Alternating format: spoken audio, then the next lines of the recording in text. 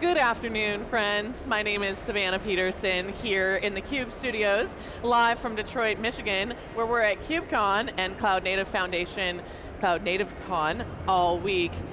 Our last interview of the day served me a real treat and one that I wasn't expecting. It turns out that I am in the presence of two caddies. It's a literal episode of Caddyshack up here on CUBE. John Furrier, I don't think the audience knows that you were a caddy. Tell us about your caddy days. I used to caddy when I was a kid at the local country club every weekend. double loops every weekend, make some bag, two bags on each shoulder. Caddying for the members. Were your guns, now I'm was caddying, the gun show just really I'm, impressive then? Now I'm caddying for the Cube where I caddy all this great content yeah. out to the audience. He's carrying the story of emerging brands and established companies on their cloud journey. I love it, John. Well played. I don't want to waste any more of this really wonderful individual's time, but since we now have a new trend of talking about everyone's Twitter handle here on theCUBE, this may be my favorite one of the day, if not Q4 so far. Drew Not Reply, AKA Drew, Drew Nielsen, excuse me there, is here with us from Teleport. Drew, thanks so much for being here. Oh, thanks for having me, it's great to be here. and so, you were a caddy on a whole different level. Can you tell us about that? Yeah, so I was in university and I got tired after two years and uh, didn't have a car in LA and met a pro golfer at a golf course and took two years off and traveled around caddying for him Love and tried to get him through Q school. This is, this is fantastic. So if you're in school and your parents are telling you to continue going to school, know that you can drop out and be a caddy and still be a very successful television personality like both of these gentlemen at yeah. some point. In well, I never well, we'll said my parents liked that decision. well, we'll keep our day jobs. Yeah, exactly. Um, and one of them is um, cloud native security, the hottest topic here at the show. Yep. Um, I want to get into it. You guys are doing some really cool things. We, know, are. we, hear, we hear uh, zero trust, you know, ransomware. Kubernetes, and we even, I even talked with the CEO of Docker this morning about container security issues. Sure.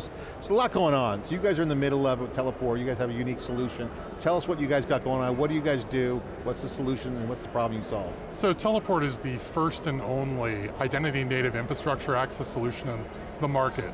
So breaking that down, what that really means is identity native being the combination of secretless, getting rid of passwords, PAM vaults, key vaults, yeah. passwords written down, basically the number one source of breach. And 50 to 80% of breaches, depending on whose numbers you want to believe, are how organizations get hacked. But it's not, password 123 isn't no, protecting Cisco right now? Well, if you think about when you're securing infrastructure, and the second component being zero trust, which assumes the network is completely insecure, right. but everything is validated.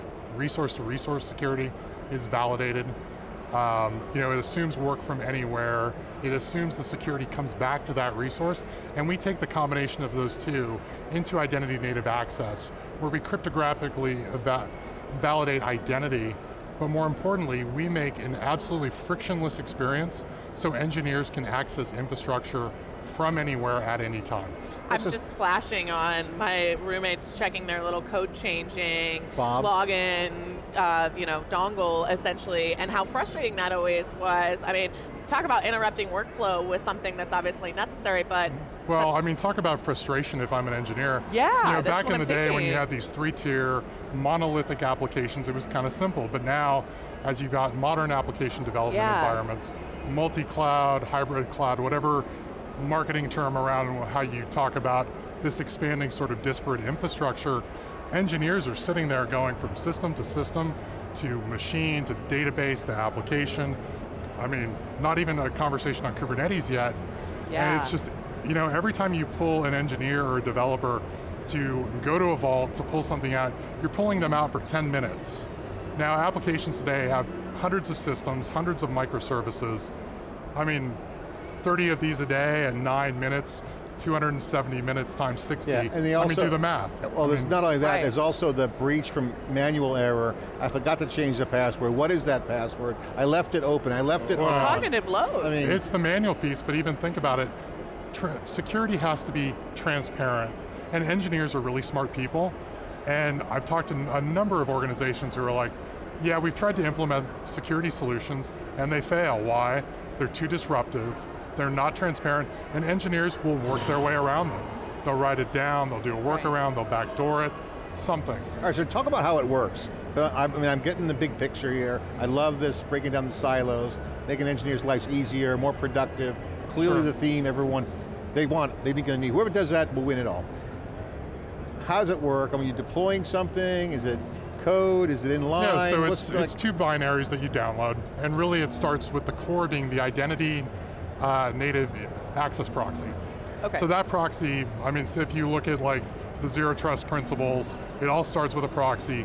Everything connects into that proxy where all the access is gated, it's validated, and you know, from there, we have an authorization engine. So we will be the single source of truth for all access across your entire infrastructure.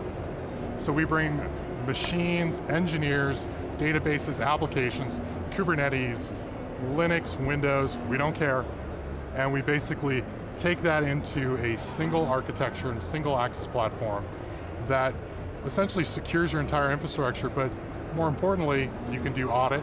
So for all of the organizations that are dealing with FedRAMP, PCI, HIPAA, we have a complete audit trail down to a YouTube oh, style that's a playback. huge thing. We're, we're California and CCPA. Uh, GDPR. Yeah, exactly. It, it, it's it's a whole shebang. So I, I love, and John, maybe you've heard this term a lot more than I have, but identity native is relatively new to me as, as a term, and I suspect you have a very distinct way of defining identity. How do you guys Correct. define identity So identity is something that is cryptographically validated. It is something you have. So it's not enough, if you look at you know, credentials today, everyone's like, oh, I log into my computer, well that's my identity. No, it's not. right. Those are attributes. Those are something that is secret for a period of time Mm-hmm. until you write it down, but I can't change my fingerprint. right. And That's what I now was just with- thinking of. Well no, perfect case in point with Touch ID on your Mac Yeah. there, it's like when we deliver that cryptographically validated identity, we use these secure modules in like modern laptops or servers Yeah. to store that identity so that even if you're sitting in front of your computer, you can't get to it, but more importantly, if somebody were to take that and try to be you and try to log Yeah. in with your fingerprint, it's not I'm you. not going to lie, I love the Apple finger thing. You know, it's like, Uh, you I know. mean, space recognition, like, it's really awesome. Yeah. I love all me a of it. I mean, even when you go through customs and they do the face scan now, it actually knows who you are, which is pretty wild. Exactly. I don't know when the last time you went abroad was, but it just shifted over like maybe Yeah. three months ago. Well, as long as no one chops your finger off like they do in the James Bond movies. I mean, we try and keep Yeah. it light and fluffy here on the cube, but you know, if we it want to takes. do finger guillotines, we I can talk know. about that too, I was, I was thinking more Minority Report, but you know. Yeah, That's yeah, what it yeah, was, yeah, that's that's, what it was. that's exactly what I, what I think of. Swipe. Hit that Yeah. one out of bounds. Um, so I got to ask, um, because you said you're targeting engineers, not IT departments. What's, is that because I, in your mind IT is now the engineers, or what's the, is or is the Well, solution if more you targeted? really look at who's dealing with infrastructure on a day-to-day basis, those are DevOps individuals, those are infrastructure teams, those are site reliability engineering. And when it, they're the ones who are not only managing the infrastructure, but they're also dealing with the code on it and everything else. And for us, that is who is our primary customer, and that's who's doing it. What's the biggest problem that you're solving in this use case? Because you guys are nailing it. What's the problem that your identity native solution solves? You know, right out of the box, we remove the number one source of breach, and that is taking passwords, secrets, and, and keys off the board. That deals with most of the problem right there, but th there are really two problems that organizations face. One is scaling. So as you scale, you get more secrets, you get more keys, you get all these things. That is all increasing your attack vector in real time. Oh yeah, across teams, locations, I can't even. Take your pick. Yeah. Across clouds, right, any of it. on-prem, doesn't, Yeah, yeah. any of it. We renew, and we allow you to scale, but do it securely. And the security is transparent, and your engineers will absolutely love it. That's the most important thing about this product. Engineers absolutely love it. What are they saying? we What are some of those examples? Anecdotally, pull some Oh. quotes out from engineers. like we should have invent, we should have invented this ourselves. Or, uh, you know, we have run into a lot of customers who have tried to homebrew this, and they're like, you know, we spent an inordinate I amount of hours on it, and it or they got legacy from like Microsoft or other solutions. Sure, yeah, Mm. any, but a lot of them is just like, I wish I had done it myself, or, Yeah. you know, this is what security should be. It makes so much sense, and it gives that, the team such a peace of mind. I mean, you never know when a breach is going to come, especially. It, it's peace of mind, but I think for engineers a lot of times, it deals with the security problem, yeah. takes it off the table so they can do their jobs. Yeah. With zero friction, Yeah. Yeah. and you know, it's all about speed, it's all about velocity. You know, go fast, go fast, go fast. And that's what we enable I mean, it engineers sounds to like do. the benefits to them is they get to save time, focus more on, on tasks that they need to work on, exactly. and get the job done. And on top of it, they answer the audit and compliance mail every time it comes. Yeah, which why is are huge, people, honestly. Why are people doing this? Because I mean, identity is just such a hard nut to crack. Everyone's got their silos, vendors have them, clouds have them. Identity is the most fragmented thing on the planet. And it has been fragmented ever since my first RSA conference. I know. so will we ever get this do-over? Is there a driver? Is You there a market force? Is this the time? I think the move to modern applications and to multi-cloud is driving this because as those application stacks get more verticalized, you just, you cannot deal Yeah. with the productivity hit. And of course, the next big thing is super cloud, and that's coming fast, Savannah. You know, you know that's Take your rocking.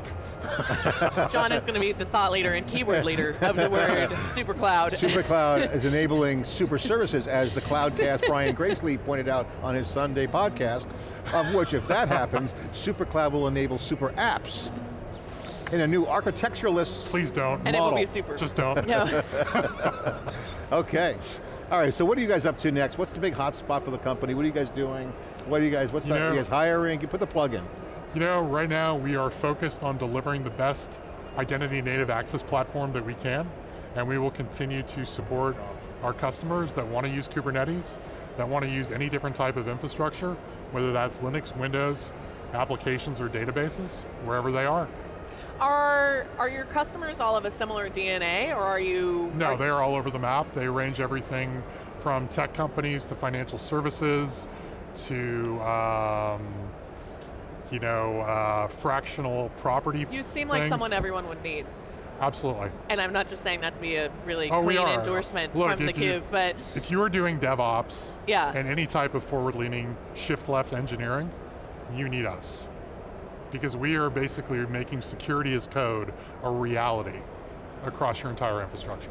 Love this. What about the team DNA? Are you in a scale growth stage right now? What's going on? Absolutely. Sounds, I was going to say, but I feel like you would have to be. Yeah, we're doing, we're, uh, we have a very positive outlook and you know, uh, even though the economic time is what it is, we're doing very well How's the moving forward. location? Where's the location of the uh, headquarters? Now with remote work, it's pretty much virtual probably. We're uh, based in downtown Oakland, California.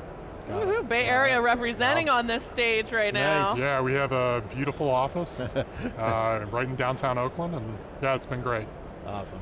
Love that. And are you hiring right now? I bet Yes, people we might are. be. I, I feel like some of our Cube watchers are here waiting to figure out their next big play. So uh, love to hear that. Absolutely love to hear that. Besides Drew Not Reply, if people want to join your team or say hello to you and tell you how brilliant you looked up here or ask about your caddy days and maybe venture a guess to who that golfer may have been that you were caddying for, what are the best ways for them to get in touch with you? You can find me on LinkedIn. Great. Fantastic. John, anything else Yeah, from you? I mean, I just think security is paramount. This is just another example of where the innovation has to kind of break through.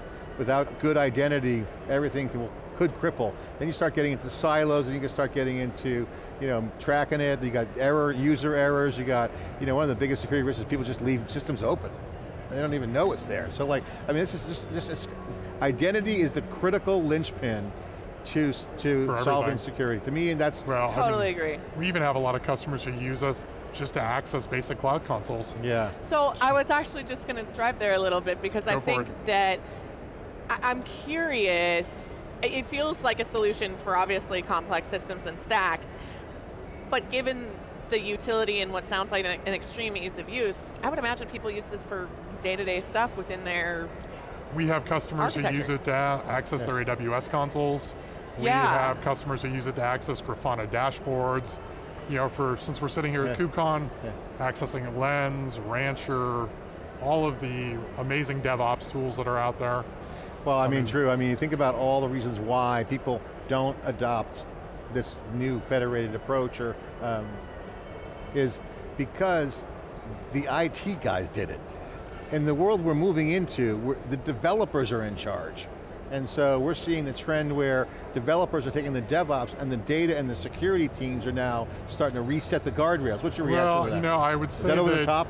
well, I would say that you know your DevOps teams and your infrastructure teams and your engineers, they are the new kingmakers. Yeah. Straight up, full stop. You heard it first, folks. and That's a I mean, headline right there. That is a headline. I mean, they are the new kingmakers, and but they are being forced to do it as securely as possible. And our job is really to make that as easy and as frictionless as possible.